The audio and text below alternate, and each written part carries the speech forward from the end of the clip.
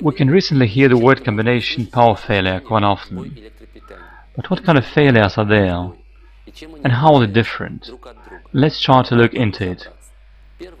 The first and most common power failure is brownout. That is short-term voltage depressions associated with a rapid increase of load in network caused by connection of powerful consumers, such as industrial equipment, elevators, etc. This is the most common failure in the power network.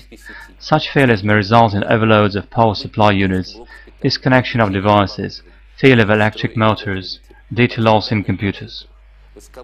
High voltage pulses, short-term, nanoseconds or microseconds significant increase in voltage caused by close lighting discharge or supply of voltage at the substation after an accident. High voltage pulses may result in failure of equipment sensitive to the quality of power supply. Complete power outage is a result of an accident, lighting discharge, significant overloads at substations. This usually results in data loss in computers and failure of hard drives.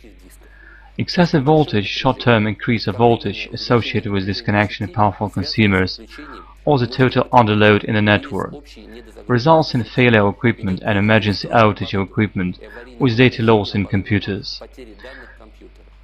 Unstable frequency is a result of strong overloads of the energy system as a whole. Change in frequency in itself does not imply any significant danger, but it could lead to overheating of transformers. Thus our power network has lots of hidden dangers for both equipment and data stored inside our computers. Both can be protected for all of the aforementioned failures by voltage stabilizers and pulse power supply units.